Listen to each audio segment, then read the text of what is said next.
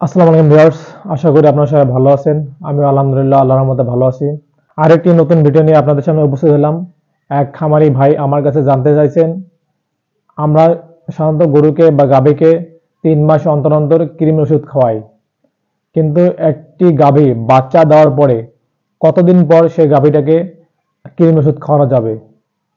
অনেকের মধ্যে ভ্রান্ত ধারণা আছে আমি যদি গাভীটাকে কৃমি ওষুধ খাওয়াই, বাচ্চা দেওয়ার পরে যদি গাভীটাকে কৃমি ওষুধ খাওয়াই, তাহলে কৃমি ওষুধ খাওয়ালে দুধ নষ্ট হয়ে যাবে।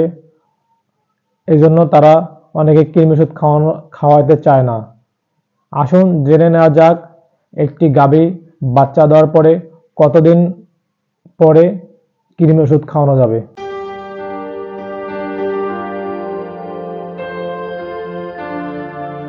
আমরা অনেকেই জানি বা মনে করি, যদি আমরা দুগ্ধবতী গাভীকে কৃমির ওষুধ খাওয়াই, তাহলে সেই দুধটা নষ্ট হয়ে যায়, তাছাড়া খাওয়ালে দুধের উৎপাদন কমে যায়। এটা হচ্ছে ভ্রান্ত ধারণা। অবশ্যই অবশ্যই দুগ্ধবতী গাভীকে কৃমি ওষুধ খাওয়ানো যাবে। আর একটি গর্ভবতী গাভী বাচ্চা প্রদানের কমপক্ষে পঁয়তাল্লিশ দিন পর কৃমিনাশক ট্যাবলেট খাওয়াতে হবে। কোনোভাবেই মাত্রার চেয়ে কম পরিমাণে বা ডোজে কৃমি ওষুধ খাওয়ানো যাবে না। মাত্রার চেয়ে কম খাওয়ালে কৃমি না মরে গিয়ে আরও বেশি করে সেই গরু কৃমি আক্রান্ত হয়। এর ফলে আরও সমস্যা হয়ে যায় গরুর। আর অবশ্যই প্রতিবার কৃমিনাশক ওষুধ খাওয়ানোর পর অবশ্যই মাত্রা অনুযায়ী লিভার টনিক খাওয়াইতে হবে।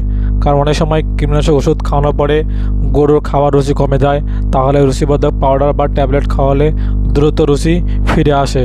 কিন্তু আমরা অনেকেই এই কৃমির ওষুধ খাওয়ানোর পরে গরুকে লিভারের সিরাপ বা লিভার টনিক খাওয়াই না। এর ফলে অনেক দিন ধরে গরুটি কম কম খায় এবং গরুর রুচি নষ্ট হয়ে যায়।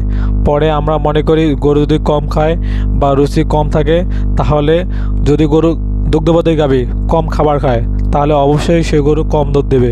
এজন্য আমাদের মধ্যে ভ্রান্ত ধারণা, এই কৃমির ওষুধ খাওয়াইলে গরুর দুধ কম দেয় বা গরুর দুধ প্রোডাকশন কমে যায়। আর এই গাভীর বাচ্চা দেওয়ার পঁয়তাল্লিশ দিন পরে যদি আমরা গরুকে কৃমি ওষুধ খাওয়াই, তাহলে সেই গরুটি ঠিক মতো, এক কথায় গরুর দুই থেকে তিন মাসের মধ্যে আবার হিটে চলে আসে এবং গরু কনসেপ্ট করে। আর অনেক গরু আমরা কৃমি ওষুধ খাওয়াই না। তাহলে হয় কি, সে গরুটা তাড়াতাড়ি হিটে আসে না, হিটে আসতে সময় লাগে। সাত মাস, আট মাস বা এক বছর সময় লাগে। এর ফলে আমরা খামারেরা নিজে ক্ষতিগ্রস্ত হই।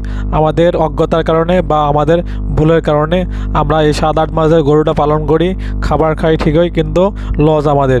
দুধ প্রোডাকশন ঠিক থাকে, অনেক সময় দুধ প্রোডাকশন কমে যায়, কিন্তু গর- গর্ভবতী হয় না গরুটা। এই ভিডিওর মধ্যে আমরা জানতে পারলাম, অবশ্যই দুগ্ধবতী গাভীকে পঁয়তাল্লিশ দিন পরে কৃমির ওষুধ খাওয়ানো যাবে।